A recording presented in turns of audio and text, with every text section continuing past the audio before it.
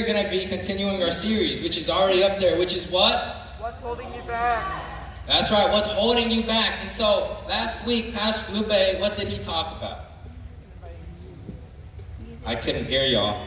Music. Music, that's right. How music can sometimes hold you back from having that deeper relationship with God, with Christ, right? Uh, Pastor said it's hard to listen here when you're not listening here. All right? Let's, let's remember that. It's hard to listen in your heart. It's hard to hear God when you're not listening to Him, but when you're not talking to Him, when you're not listening to stuff that will praise Him and that can help you, right? Well, tonight I want to talk about another thing that could be holding you back. And that thing can be fear, right? Now, uh, there's, there's things, the fear is a wide variety of stuff, right? You can be afraid of clowns. I know someone in here that's afraid of clowns. We're, we're going to be using that later. So whenever he decides to take a vacation, y'all, let's fill his office with clowns. That will be, come, come on. We have to fill his office with clowns. But uh, some people can be scared of spiders, ants, uh, or or maybe the ocean. Now, uh, I don't know if y'all, I don't know if y'all can tell this, but me personally, it's always been abandoned. I wonder why. if you don't get it, maybe someone will tell you. but today, the fear I want to discuss Oh yeah. is Yeah. the fear of He meant as a joke. what if. He meant as a Right? joke. Right? Now, maybe some of y'all in here are like, what if? I'm not scared of a couple of words. What if doesn't know who I am, dog? I stand on business every single day. Yeah, who, who out here, when what if comes, y'all just thug it out?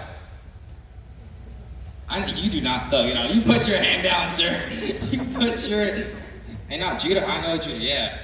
Yes, sir, Judah. But okay, let, let me give y'all a few examples. Let's say who, in here has a wants to do their dream job, right? Or wants to start a business. Dream job or start a business? Alright, a couple of you, oh wow, okay. Uh, Lots of entrepreneurs in here. Alright. Let's say you want to do that, right? And you get the a fear. What if I fail? Alright?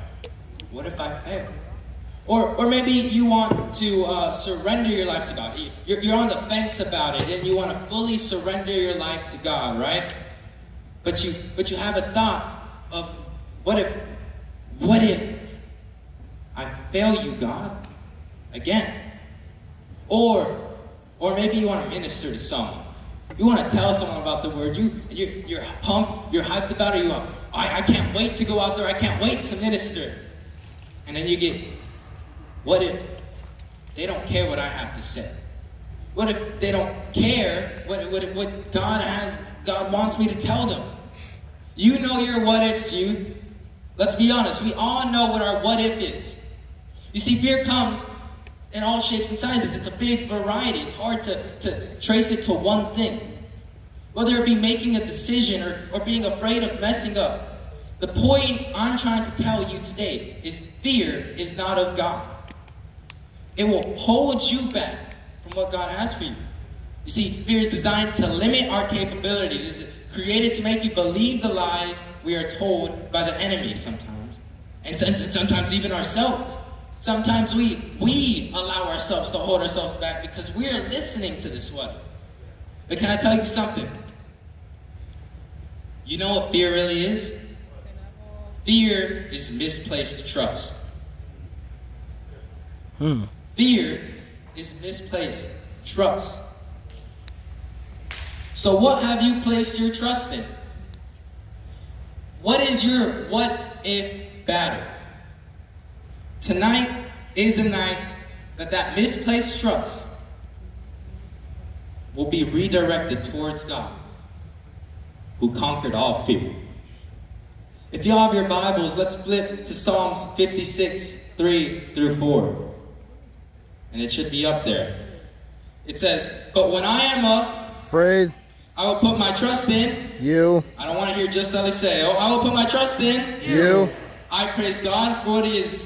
I Promise. trust God, so why should I? Be afraid. Be afraid. What can mere mortals do to me? Thank you. Now, what is the scripture saying? When I'm afraid, I will put my trust in you, God. But but verse 4, verse 4 is saying, I praise God for what he has promised. When I trust God, why should I surrender? Oh, wait, no, uh, yeah. Why should I surrender to my fear? When I have my full trust, my full faith in God, why should I surrender to my fear? It's okay to be afraid in life. The issue is when we surrender to that fear. Fear is faith. Uh, fear is faith, just steps in the wrong direction. So, so what if I mess up? And you, if, if any of y'all are thinking that, what if I mess up? What if I'm a failure? What if they are right about me? What if I will never succeed about the things that I want to do in life? Will I ever be the person I want to be if I'm listening to that? Where is my faith? Where is my trust lying right now? Is it lying in God or is it lying in my what ifs? Is it lying in, in what, what isn't good for me? You see, you see here now, when, where, faith, where your faith is lying is most likely where you're going to follow. It is, it is it's either God you're trusting or, or it's the what ifs. And if you allow your what ifs to determine where you are going to go, then guess what's going to happen? And I allow my what ifs, if I start thinking I'm going to fail, then I'm going to start believing I'm going to fail. Why? Because my trust, my faith is in my what. It's, it's not rocket science to, to, to be like, if, if I'm constantly thinking about it, if I'm constantly thinking about failure, dreaming about failure, then I'm going to fail. But when your faith is in God, and you put your trust in a God who will never fail you, why should you be afraid? You shouldn't. Because you have given your trust to the most dependable person you could have ever given it to. And I'm not saying that when you live with God, when you, when you have faith in Him, that you'll never be afraid again. No. We're human. We're, we're, we're bound to be anxious. We're bound to slip up. We're, we're bound to make mistakes. But when your trust is in the right person, then things can start to get better for you.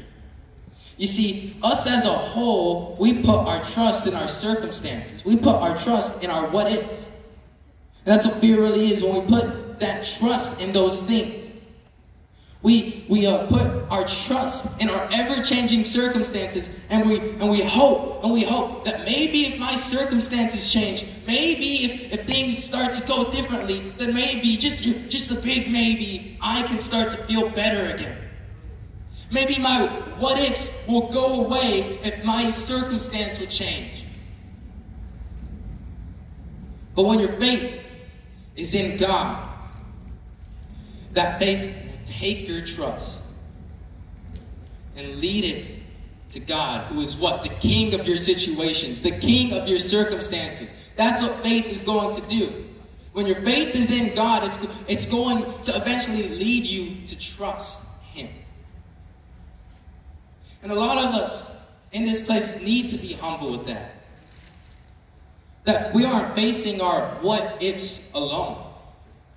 That whenever we have a what if, when, when we have something that we are afraid to do, we have friends that can help us along the way. And, and it's true. A lot of us in here, including me, can be stubborn at times, all right? And uh, don't like admitting you're wrong. Like for me, I know that when I know how to do something, and some guy who doesn't know me tries to correct me, I, I, can, I can get a little bit mad at them. Because this, this is a guy I don't even know and trying to correct me on what I do or and stuff I, I do. And, and sure, I'll let him have his moment, but it bothers me. Because when I'm mad about that person, I don't want to ask for his help again. Uh, and so admitting you're wrong can, can hold you, uh, not admitting that you're wrong can hold you back. It says in Peter 5, 6 through 7, It's up there. So humble yourselves under the mighty power of, God, and at the right time he will lift you up in. honor, Give all of your worries and cares, to God, where he cares about, you, about, you, about you. When you take your anxieties, when you take your fears, when you take your what ifs, you need to humble yourself. When you think that you are the source, that you are the answer, that you are going to solve your problems, Peter is saying right there that when you think those things, you are lacking humility. Because the scripture is saying, humble yourself and give your worries, your cares to God. Humble yourself. Humble yourself so you can give your worries and cares to God.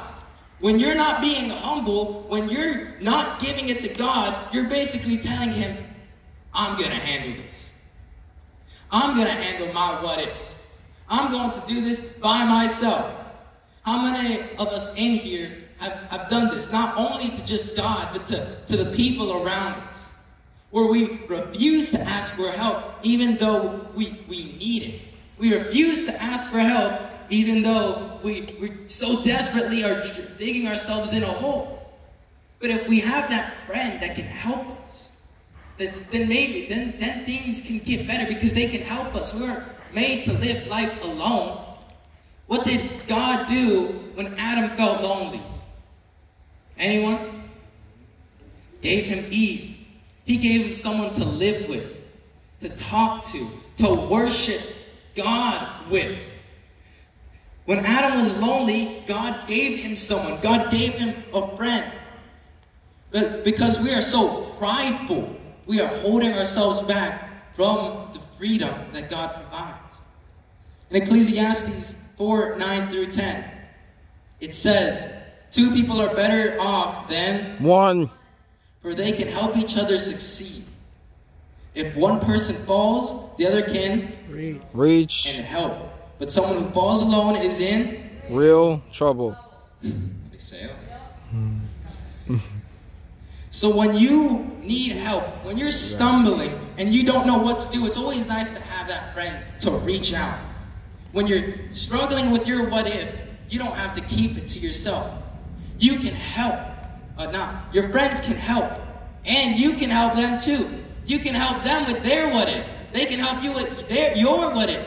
Because it says that two are better than one. And that when one person fails, when one person falls and he is alone, what does it say he is? In real trouble. Good effort, Elisa. I love the effort now. So, so when you are holding it in, when you are holding something that shouldn't isn't yours to hold, you are only damaging yourself. You're only hurting yourself. You're only going to, to hurt yourself and you're going to hurt your relationship with God. So humble yourselves and give God what you need to give. Give Him your what if. Give Him your struggles. Give Him your worries because all God wants to do is help you. And back, back to the, to the fear part, right? All of us have felt fear. And if you said you've never been afraid, then you are lying. Having felt fear is normal, it's, it's, it's human. But what is it that you're scared of?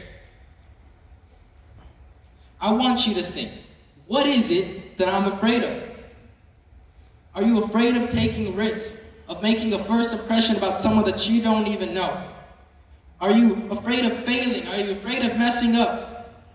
We have to remember that fear is made to limit us, to hold us back. If you allow fear to take control, you can start to believe it. We allow, we allow them to take control of our lives. We allow them to lead us and let us think what we are capable of. Who in here, oh, I already asked that question. A lot of people in here want to start a business, right? Want to do that dream job they have that, that some people might consider not successful. But to, but to do those things, you have to be able to take a risk. But here's where fear comes into play. Here's where the what if comes into play. What if I start my business and things don't work out? What if I fail this business? What if I fail my, my career? What if what if people are right that I should just quit pursuing my dream? I should quit doing what I want to do. I should quit doing what God has called me to do because I'm going to fail. When we start we start to believe those things. And what do we do because of it? We back out. We back out because we fear failing. We, we fear proving people right, making, allowing them to make us think that we are failures. But it just doesn't have to be with starting a business. What if you want to minister? And, and, and you have a, a what if fear of rejection? What if they turn me down? What if they make fun of me? What if they what if what if they don't want to hear what I have to say? What if they don't listen? And and, and or or maybe maybe something new. For for people who are in a doubting season or or new to faith. What if this Christian thing doesn't work out? What if I fail God? What if people look at me differently? They don't want to associate with, with, with me because I believe in God. And if, if, if you're wondering those things, what if, what if this Christian thing doesn't work out? What if I fail God? I just want to let y'all know that you have a whole community of people who have been there before, who have felt that before, who have maybe not, uh, who have thought that before, or have thought similar things of that before. So, so when you're thinking that, you, I just want to tell you, y'all, not, you are not alone. Okay, but maybe your what if wasn't said tonight. But maybe it's the what if of struggling with my identity. Or, or what, the what if of a certain sin. Or, or anger. Or lust. But have y'all caught on with the common theme that's been going on around here? Have y'all caught on to the two words that are stopping us, that are making us afraid? What if? At least say I was on point again. What if? What if I get hurt? What if this? What if that? You see, we are only viewing things from a fear angle. We are only viewing things from, from a failure mindset. We, we are only viewing things from, from a fear, from a fear angle. I'm looking right here, and this is a, if this is all I'm looking at, if all I'm looking at is this curtain, then how am I gonna see y'all? If if all I'm looking at is this curtain, who am I gonna talk to? You see, if all you're looking at is that curtain, then you're not gonna have friends in life. And, and it's, it's a, and not to be rude, because if I'm just gonna talk to that curtain right over there, people are gonna think I'm weird. They're gonna think I'm crazy. So when you view things from a fear angle, all you're going to think is that you're a failure. All you're going to think is negativity. All you're going to imagine is, is failing. Can I tell y'all something? Stop living by your what ifs. Instead, live by your what can. What can God do through me? What can happen if I take a chance? If I start that business, what can happen is I become successful and I can give back to what God has already given me. What can happen if I minister to someone and, and they get saved right there on the spot and then they can minister? What can happen if I give my life fully to Jesus, if I fully surrender my life to Him and, and I live a life of joy, peace, and, and that one day I can be on the stage? So, so youth, I want y'all to realize this. Stop looking at things from a failure mindset. Stop thinking of things from a failure mindset. And instead, start thinking from things from a faithful mindset. It's a whole different card game when you stop viewing that curtain and you start looking at the crowd. Mm. That's when a real difference can be made. Come on. Because Second Timothy 1 7 says, For God has not given me a spirit of what? Fear, But of love, power Power. sound mind. I know that. So God has not given you a spirit of rejection. He has not given you a spirit of failure. And most importantly, He has not given you a spirit of fear. You, uh, you see, growing up, this is my favorite scripture because it reminded me of, of who I was through Christ. It reminded me what God has given me. That, that God never gave us a spirit of fear, He never gave us a worrying spirit. So, whenever I was afraid as a child, whenever I was afraid when I was younger, I would always repeat 2 Timothy 1 7 because it encouraged me to take that next step. Steps. Huh? We need steps to go to different floors, right? That's another thing fear will stop you from trying to do. Take that next step.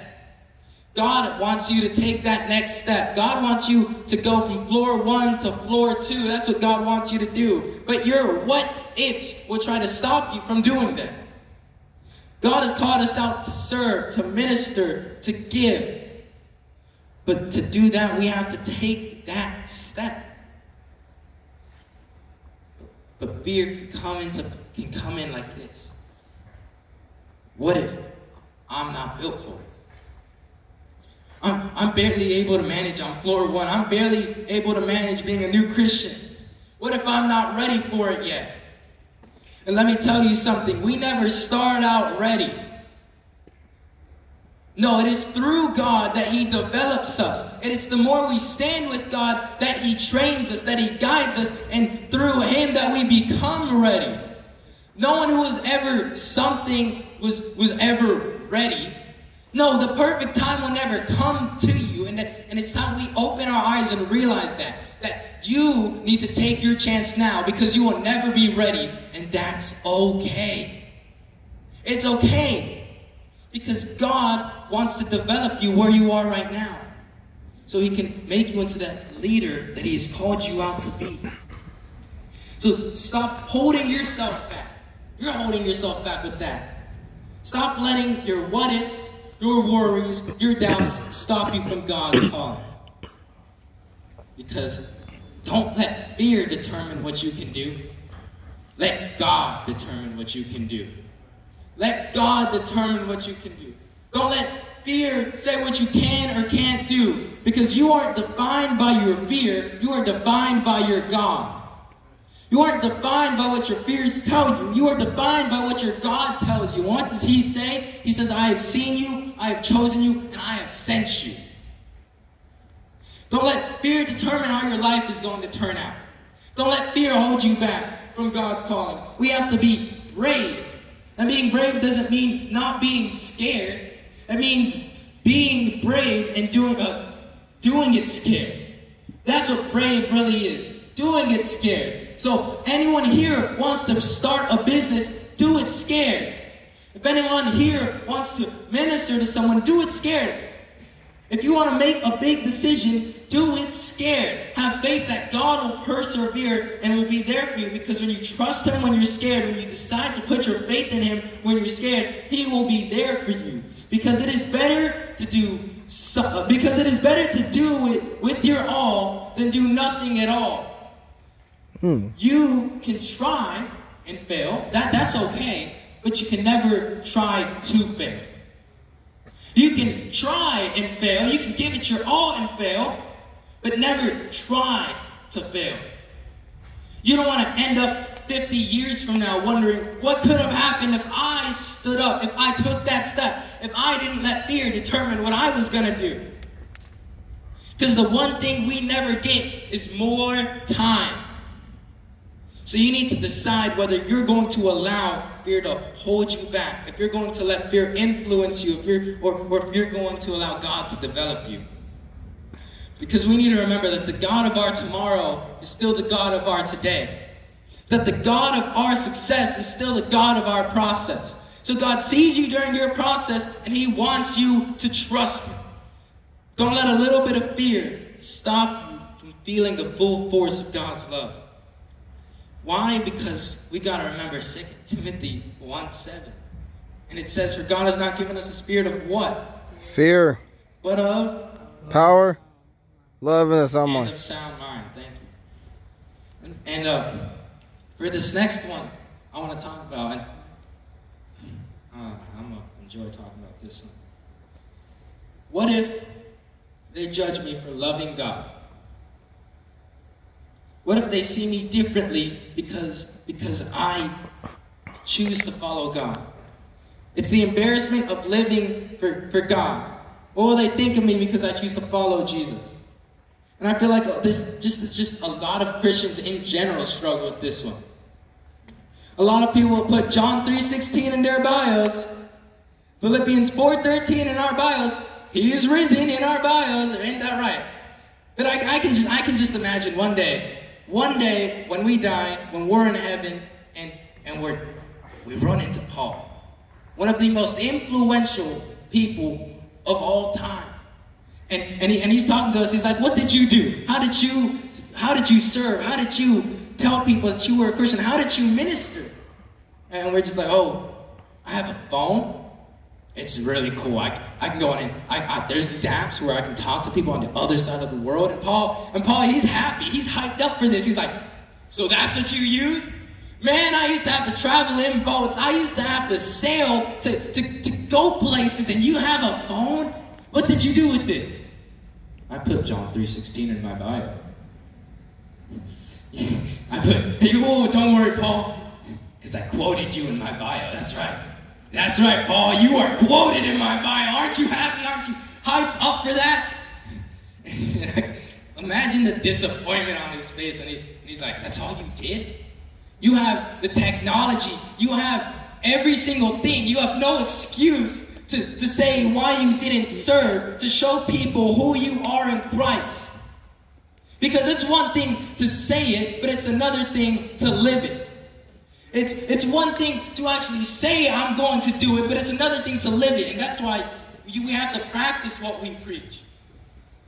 In Romans 1.16, it says, For I am not ashamed of the good news about Christ. It's the power of God at work, saving everyone who believes, the Jew first, and also the Gentile. I am not ashamed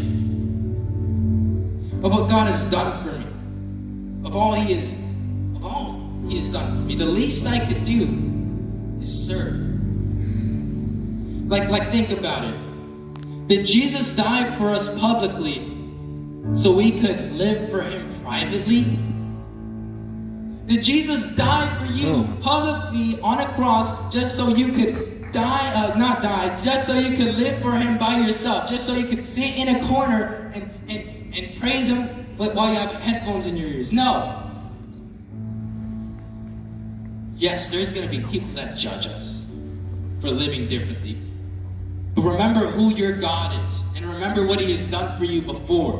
Because if He's delivered you before, then He's most likely going to deliver you again. Who cares if people judge us for being different, for being a for being a Jesus freak is what some people would do. Because I would rather stand with God and be judged by the world than stand with the world and be judged by God. But there's this one type of fear that everyone in here has thought of. And it's the fear of failing God, of not being enough for Him.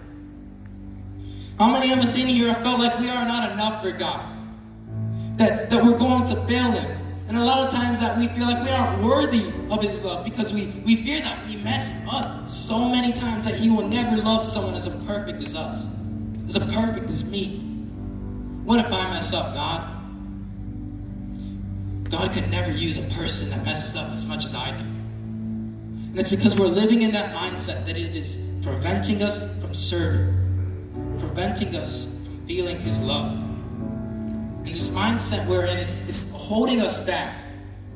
And I don't know who needs to hear this, but I, I felt God so ever clearly say to me to tell y'all tonight that you are enough. You, yes, you, point to yourself, say, I. I. I am enough. I am enough. Don't let any fear, any person, any what if, anything let you think that you aren't. Yes, you're going to mess up. Yes, we're going to fail. We're going to make mistakes. But God says it's okay to mess up.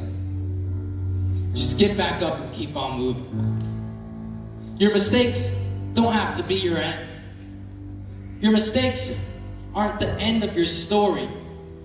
They're just the beginning of your new chapter. Hmm. They're just a new beginning for you. For you to share. Yeah, yes, I mess up, but now I now this can be my testimony. Now this can be what I use to share. God loves you through your mistakes, and that and that standard of being perfect for him is unrealistic. It's unreal. It will never happen. We will never be perfect. Ephesians 2:10 says, For we are God's masterpiece. He has created us anew in Christ Jesus so that we can do good things He planned for us long ago. You are God's masterpiece. Nothing you say or do can, can ever mess that up. Because God has renewed you. So are we going to mess up? Yes. Are we going, are we going to have some type of what if, some type of fear? Yes. But it's if we surrender to it. Fear will never physically stop me. And Leo, could you stand up here? I'm sorry, I didn't tell you this. This is just out of the blue. I'm just. Let's say, let's say. Come on, Leo. Now, now, Leo will, will be my fear. Fear will never physically stop me, right? Fear will never. I can I can walk all I want, because fear is just in my mind. It's, it's just a mindset I have. Now the issue I have is when I surrender to that fear, and now Leo will get in the way. When I surrender to that fear, I am physically stopping myself. So I'm gonna try to be physical with me, fear. fear. Fear. Now, when I surrender to my fear, when I surrender to it, the issue is he's not going to let me get past it. Because I have chosen to surrender myself to Leo. No, to fear. and because I've chosen to surrender to fear, I will never be able to get past it. But when I surrender to God, Fear can't touch me. Fear isn't going to touch me. Fear isn't going to get in my way because I am locked out of that mindset that fear is no longer going to stop me. Thank you, Leo. Woo! Fear is no longer going to stop you. When you surrender your trust, your life, and your faith to God, nothing can get in your way. And so you, they'll ask you this one last time. What is your what if? What are you so afraid of? Who in here is afraid? Who in here wants to be delivered from your what if? If you want to be delivered, I encourage you to stand up, to make your way to the front right now, and and to fully surrender yourself. Say, God, you are bigger than my what ifs. God is bigger than your fears, than your what ifs. And it's when we choose to surrender our what ifs to Him that it will start to show. So if we can just praise Him in this place, just pray to Him right now.